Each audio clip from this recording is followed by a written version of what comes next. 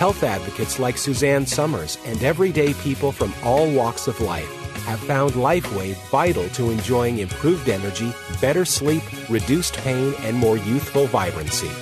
Where did it all begin?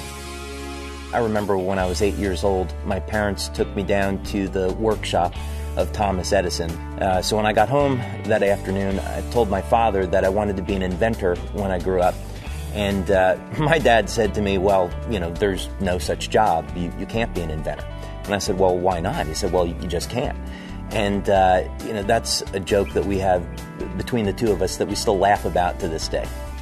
LifeWave founder and CEO David Schmidt began his career in medical device design and manufacturing. In 1996, he moved to Atlanta, where he returned to his passion for inventing by joining an inventors club, winning numerous awards, and eventually forming a company based on one of his inventions. One day I, was giving a presentation for a government contractor and uh, they invited me to be part of a design team for one of the Navy's next generation mini subs.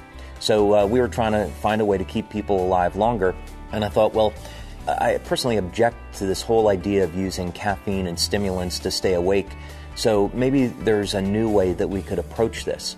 Uh, so I worked on this for several years and uh, developed the LifeWave prototypes. The problem was that we had just gone through uh, 9 11 and uh, the U.S. military was interested in, in weapons, not survival equipment. And uh, it, it, normally takes over seven years to get a new product uh, through the Navy. So I decided, well, I know that consumers are really going to love a technology that improves energy uh, without having to use stimulants. So uh, that's why I decided to go to the public with it. And with those patch prototypes, David found his calling, and by summer of 2002, he launched the LifeWave Company. That first year of LifeWave was pretty rough. Uh, I, I, remember I didn't get a lot of sleep. Uh, a very typical day for me was getting up at 6 in the morning, uh, going about my day doing work, uh, phoning acupuncturists, medical doctors, athletes, personal trainers, uh, working all day doing that, and then uh, getting up late at night to make patches because we didn't have a patch manufacturing facility.